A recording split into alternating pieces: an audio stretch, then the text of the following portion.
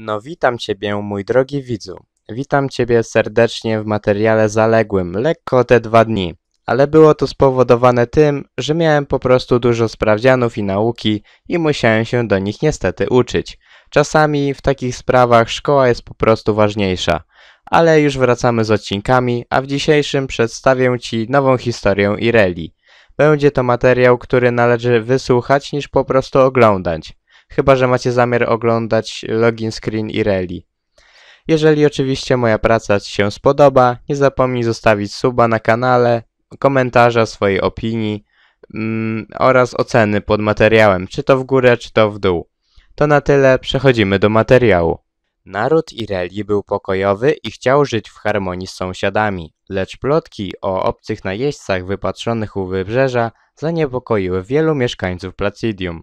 Irelia powróciła do swojej wioski, która znalazła się już pod okupacją. Noszący stalowe hełmy żołnierze z dalekiego Noxusu popychali na ulicach nieuzbrojonych cywili trzonkami swoich włóczni. Noksjański admirał Dugal zagarnął dom rodziny Ksan i zrobił z niego kwatery dla oficerów piechoty. Bracia Ireli i jej ojciec Lito musieli stawiać opór, gdyż cała jej rodzina spoczywała teraz w nieoznakowanych grobach w ogrodzie.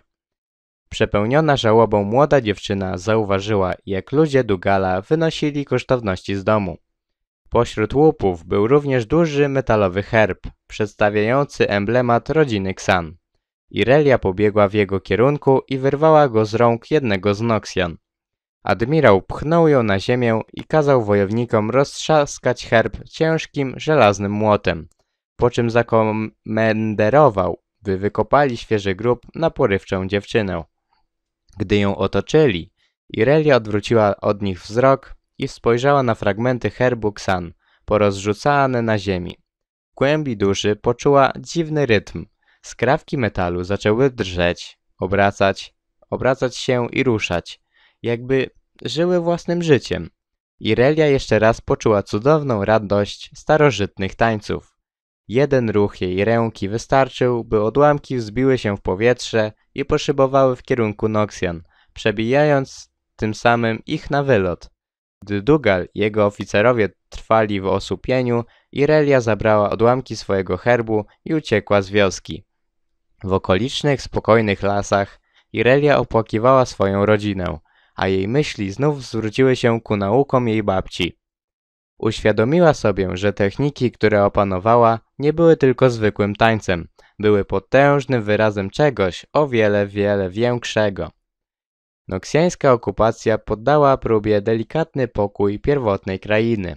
Podobno nawet sama religia przywódczyni, karma, została zmuszona do użycia śmiercionośnej magii przeciwko najeźdźcom.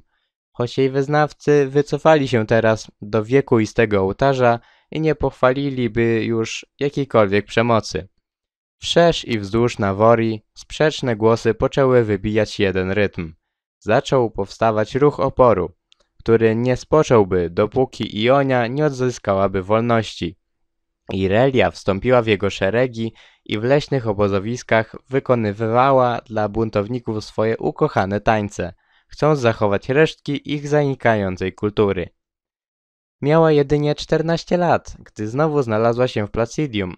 Jej grupa buntowników dołączyła do straży, która przysięgła bronić klasztorów i dzikich, świętych ogrodów. Lecz Noxus dokładnie wiedział, jak ogromne znaczenie ma to miejsce. Wybitnie sprytny generał Jericho Swain zdobył Placidium i wziął jego obrońców w niewolę. Miał wszelką nadzieję, że zwabi nadchodzące posiłki w pułapkę. Właśnie wtedy Irelia postanowiła stawić czoła przeznaczeniu.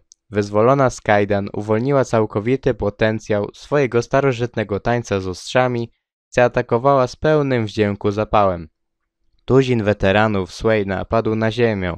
To zasiało chaos w szeregach wroga, a inni jeńcy po prostu dołączali raz po raz do Ireli. Przyszedł w końcu czas, by stanęła przeciwko samemu generałowi. Widok tej buntowniczej dziewczyny trzymającej jego odciętą rękę nad głową miał stać się punktem zwrotnym wojny.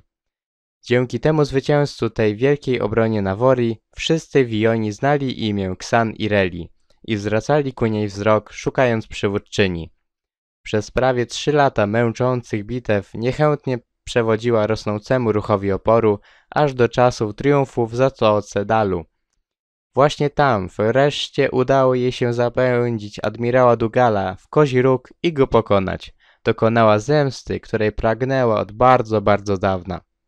Choć wojna już dawno dobiegła końca, Ionia została nieodwracalnie przez nią zmieniona. Pierwotnie kraina jest teraz podzielona, a przeciwne sobie frakcje walczą ze sobą prawie tak zaciekle, jak toczyły boje z Noksjanami. Wielu wciąż zwraca wzrok ku Ireli, szukając odpowiedzi. Wielu przyjęłoby taką pozycję z radością, lecz ona nie czuje się z tym, no tak można powiedzieć, zbyt komfortowo. W głębi serca wciąż pragnie tańczyć tylko w samotności.